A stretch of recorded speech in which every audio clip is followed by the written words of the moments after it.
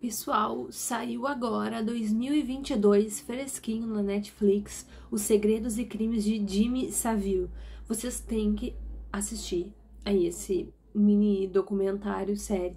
É uma coisa horrível, extraordinária. Se alguém já conhecia o Jimmy, por favor, comentem aí, porque eu não conhecia ele, não sabia dessa história dele lá na no Reino Unido.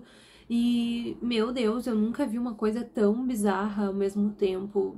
É incrível ver o que que o poder e o que que, assim, o dinheiro também, né, tudo é capaz de fazer. Então aqui a gente tem o Jimmy Savile, que são dois episódios de uma hora, uma hora e meia, que nos mostram toda a trajetória dele. Então ele primeiro se tornou um grande DJ na época ali dos 1955 até não lembro que data, mas ele apresentava vários programas de pop na época que então mostravam Nancy Sinatra, nossa, Frank Sinatra, todos da época ali que foram passando e a juventude gostava. Desde então ele tinha um tipo de caricatura, porque ele se vestia de um jeito muito berrante assim para época, muito extravagante. E ele foi criando essa imagem dele com aqueles cabelos assim oxigenado, horrível, uma peruquinha e tal, e um jeito estranho, e foi conquistando as pessoas. E aí ele tinha várias, uh, depois assim, ao decorrer da carreira, ele tinha várias, várias ações filantropas que ele foi fazendo e, e corridas beneficentes e ajudando hospitais e um monte de coisas até que foi descoberto que ele cometia muitos crimes.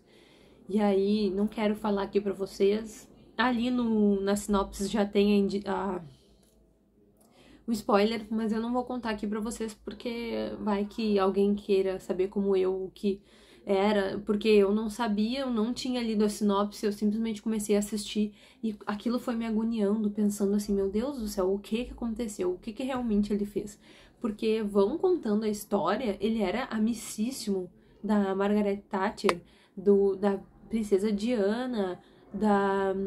Nossa, de todo mundo, sabe? Todo mundo. Então, não sei, é, é incrível saber o que, que ele fez. Ele teve grandes feitos e isso só explodiu agora de verdade, porque antes ele estava vivo e ele tinha uma força tão enorme, mas tão enorme, que ninguém da polícia queria se comprometer de ir contra ele. E aí ele morreu uh, com 85 anos, e aí que resolveram, sabe, começar realmente uma investigação. Ele morreu em 2011.